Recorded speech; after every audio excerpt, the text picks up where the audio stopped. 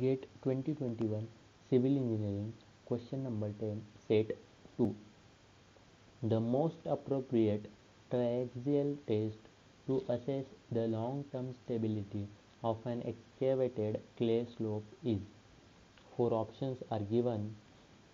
For this question you can refer to this NPTEL video lecture. In the question they have mentioned long-term stability. Long-term long-term stability means long long after construction.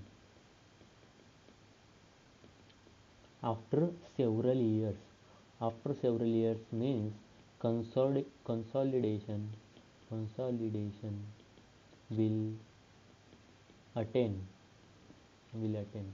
Consolidation will happen.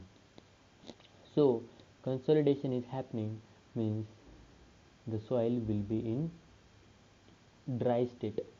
The water will drain. Soil will be completely dried in both the stages in stage 1 and stage 2 in both the stages the soil will be in dry dry state.